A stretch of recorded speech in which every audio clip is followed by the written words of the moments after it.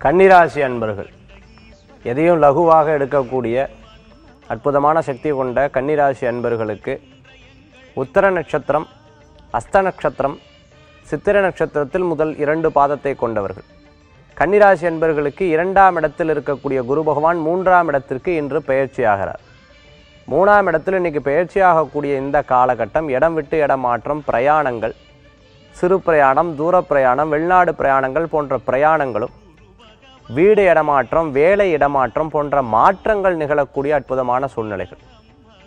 சகோதர சகோதரர்களுக்கிடையே இருந்தக்கூடிய பிரிவினைகள் மாறி ஒற்றுமைகள் கூடக்கூடிய சூழ்நிலைகள் மாறி வருது சிறு சிறு விஷயங்களும் எண்ணற்ற முயற்சியில் இருக்கக்கூடிய உங்களுக்கு இந்த மூன்றாம் இடம் மறைவு ஸ்தானம் காட்டி.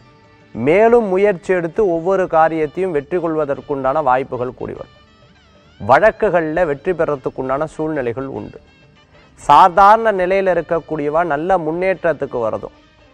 நல்ல முன்னேற்றத்தில் இருக்கிறவாளுக்கு மேலும் முன்னேற்றம் தரக்கூடிய சில மனிதர்களை சந்திக்கக்கூடிய வாய்ப்புகள் தேடி வரும் கூடி வரக்கூடிய அற்புதமான காலகட்டம் கன்னிராசி அன்பர்களுக்கு இருப்பினும் மூன்றாம் இடம் மறைவுஸ்தானம் நான்காம் இடத்தில் இருக்கக்கூடிய சனி பகவான் அர்த்தாஷ்டம சனி இருப்பதனால் ஒவ்வொரு வியாழக்கிழமையும் குரு பகவானை வணங்குறதும் தில்லை காளி சிதம்பரத்தில் இருக்கக்கூடிய தில்லை காளி தரிசனம் செய்வது விசேஷ பலன்களை தரக்கூடிய அற்புதமான வழிபாடு.